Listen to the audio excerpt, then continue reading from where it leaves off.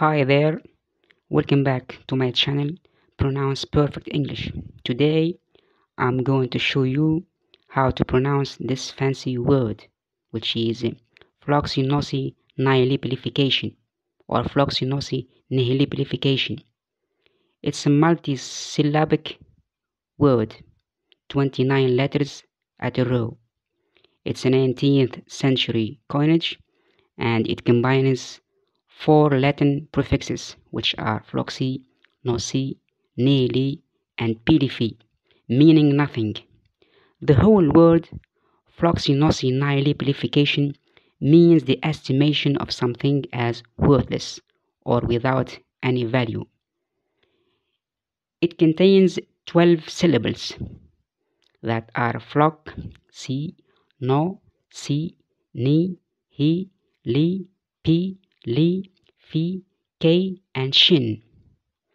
To divide any word into syllables, it's all about the vowels you hear. Alright? And notes here carefully. I said the vowels you hear. It's about the vowels you hear. Whenever you hear a vowel, stop. That's a syllable. Now, regarding the stressed syllable in this word, it's easy to locate and identify simply because there is a rule which says every noun that ends in tion termination, the shin sound, has its primary stress on the penultimate syllable, that is the syllable or the part which is just before this termination tion, like here in this word, floccinaucinihilipilification. We can have other examples like uh, pronunciation, civilization, information. The stress is in the last part before the tion termination. Alright. Now, as I said, this word has its primary stress in CAK, floccinaucinihilipilification. So syllable number, let's say uh, if you count them, you will find it syllable number uh, 11. So syllable number 11 is the stressed syllable because as I said it contains 12 syllables. Alright, so let's practice it again. Floxinosi nihilipilification. We can also say floxinosi nihilipilification. So the American way is floccinauci nihilipilification and the British pronunciation is floxinosi nihilipilification.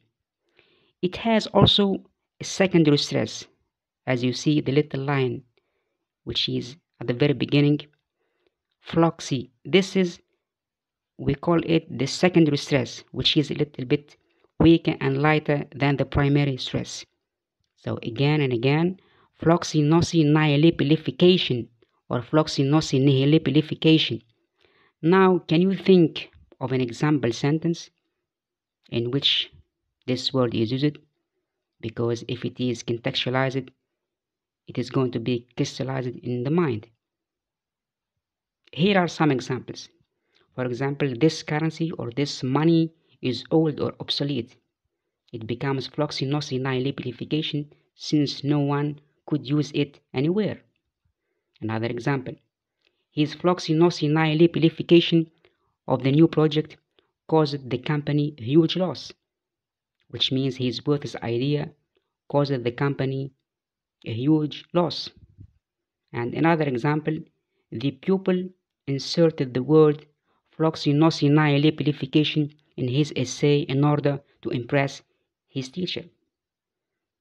And uh, the last example, I am glad to present you this word of floccinaucinihilipilification in this video to learn and practice how it is perfectly pronounced.